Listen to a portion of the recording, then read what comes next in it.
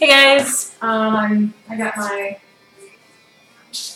um, mocap thing working a little bit better now. Just gonna kind of show you what I got so far.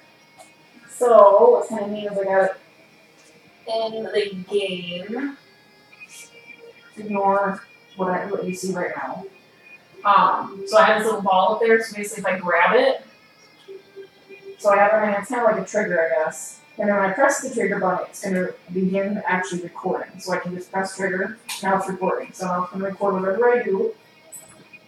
I like move around, ignore. Oh wait, actually no, I just flip these.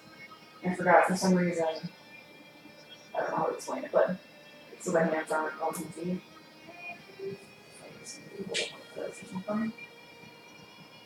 move the arms around. Move my head around.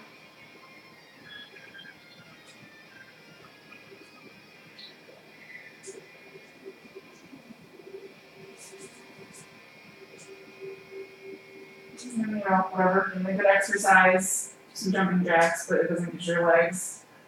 Alright, so then I hit the trigger again. It stops the recording. Ta-da.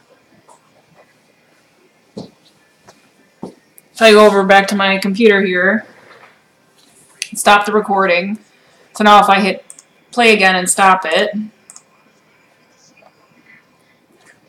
and then hopefully, hopefully, oh shoot, I have to make another. Hold on here. Add screen capture.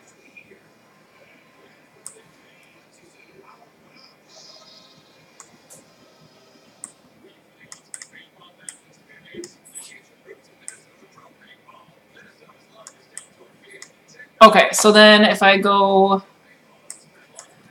so what I'm going to do is I'm going to click on these. I'm going to go to unfollow. We don't want those to follow anymore. We're going to go back to this game object that had the animations on it. I'm going to put the animation that it just created, which is called poop. Please ignore that. It's just something that I do. If I can't think of a name, why didn't it just put it over there? Oh, it's okay. So yep, so now it's on there. And then I go to my guy, and then so basically in his IK script, the um, in the game object that's animated, I would drag the head into the head spot, um, and then the hand and whatnot into the spots, and then you can tweak the settings while you're playing. I tried to tweak it pretty much to what I like. So then um, I think everything should be fine. So now if I hit play, he should animate exactly what I just did. Cross your fingers. Looks like it's working. And then I realized that my hands were switched, so then I think I eventually, there we go. Oh wait, is this, oh you can't even see what's going on here. Let me make this bigger. Oops, shit. There we go. So, that's pretty much exactly what I was doing to get mocap.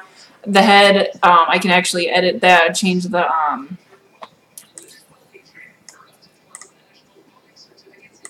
you can tweak, you oh my gosh, I can't really have so much shit on my screen here.